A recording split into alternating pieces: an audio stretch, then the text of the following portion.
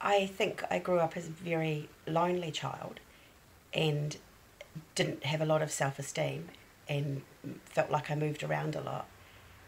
And yeah, I just found life really hard and I want to make life better for others in whatever way that I can.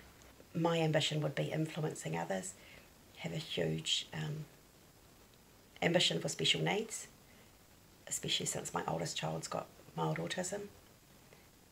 Uh, but I guess I've always had a affiliation, if you like, with.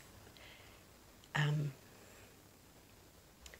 I think that it's the marginalised in society, like older people, sort of visiting older people since I was 18, just volunteering with um, older people in rest homes, sometimes in homes, and yeah, just just I, I guess I didn't really get on to didn't really learn a lot about special needs when I was younger, but more and more that's um, been a bit of my passion. Again, that sort of marginalised people. I'm a solo mum of three boys. The husband left, and uh, it is very rough going.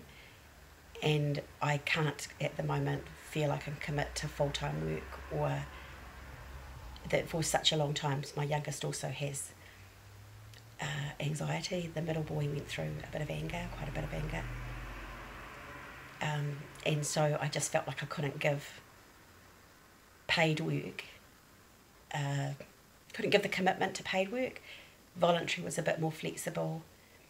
I learnt fairly, fairly early on working with people, um, elderly people, uh, some of who were quite severe dementia and extremely depressed. And I learnt early on of just I made them smile once in that visit. That would be an achievement. That would be an accomplishment, and just to be proud of myself for that.